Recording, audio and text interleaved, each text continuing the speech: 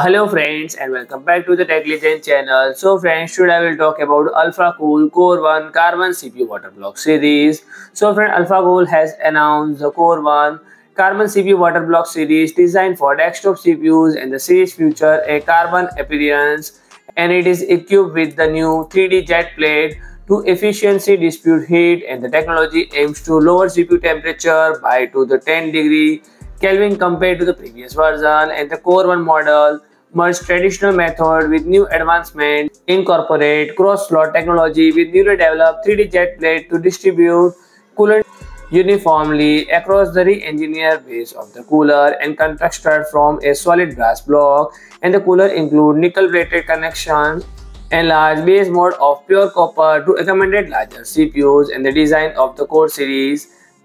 emphasized was style and functionality and highlighted by nickel-plated connections against a brass housing and a carbon cover and enhancement. In the mounting system reduce the number of screws needed and simplify installation. So friends if you like my video please do like share and comment. And don't forget to subscribe my channel and press the bell icon